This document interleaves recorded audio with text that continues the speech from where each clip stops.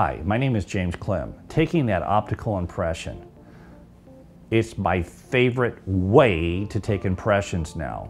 No matter where the margin is, no matter what type of margin style I have, I don't care if it's subgingival, I can get the best optical impression and feel much more secure with that than analog impressions of the past.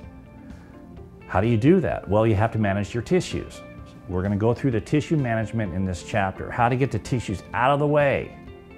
We're going to talk about how to capture that clean margin no matter where it is under that gum line. When we see that razor blade margin and we trace that margin and draw on it, we know it's going to be closed, we know it's going to be refined, and it's going to look great on an x-ray. We need that when we go home at night.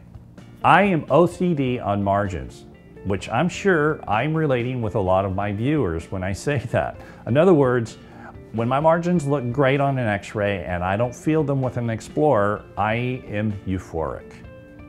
Now when that doesn't happen, we're not happy. With CAD-CAM, I have total control of my margin. No matter where it is, under the gum line or above the gum line, I can draw that margin razor blade style, being assured that it's going to fit exceptionally well. There's a few principles that we want to understand. It's the fundamentals, it's the basics.